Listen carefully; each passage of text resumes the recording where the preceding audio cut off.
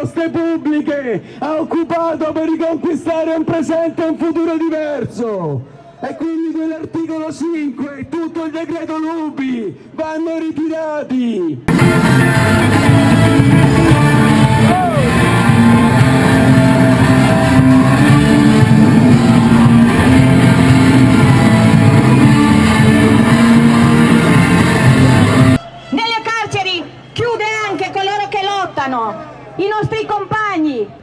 hanno lottato contro il TAV, tutti coloro che non accettano questo mondo.